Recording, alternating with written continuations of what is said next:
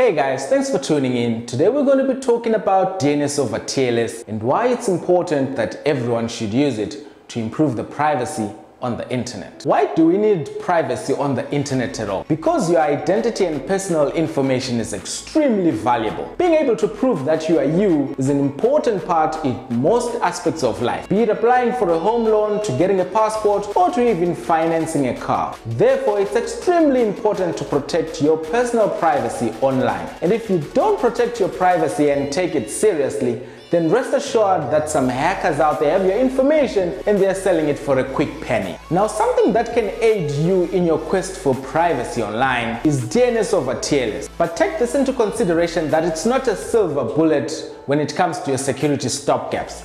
It should be used as part of your security arsenal. Click on the pop-up banner on top of your screen and tell us whether you use DNS over TLS in your current network environment.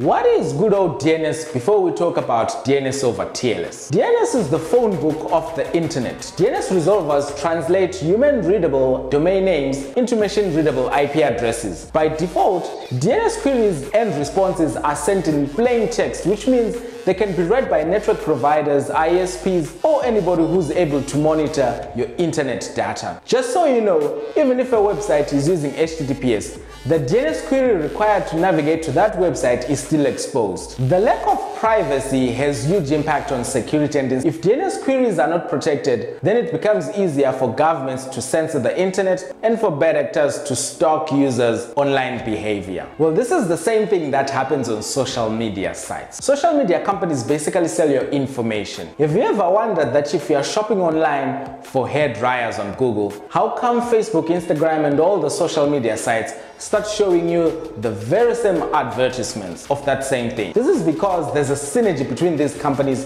when it comes to sharing your information. So it's about time people protect every bit of information, including DNS queries. DNS over TLS uses the same principles as good old DNS, but with an added layer of security because your device creates a secure tunnel between itself and the DNS provider. Once that tunnel is created, whatever websites you request go through that tunnel and nobody else can see that information online. To use this, you need a DNS provider who supports DNS over TLS and there are lots of free trusted DNS providers from which you can choose from. Now you can use DNS over TLS in two ways depending on your preferred choice of the service provider. First is you can install a provided app on your device that you want to secure, be it your laptop, your cell phone, tablet, or any gadget. You can keep the app on when you want to protect your data. But then again, why would you want to switch it off? Why? Why?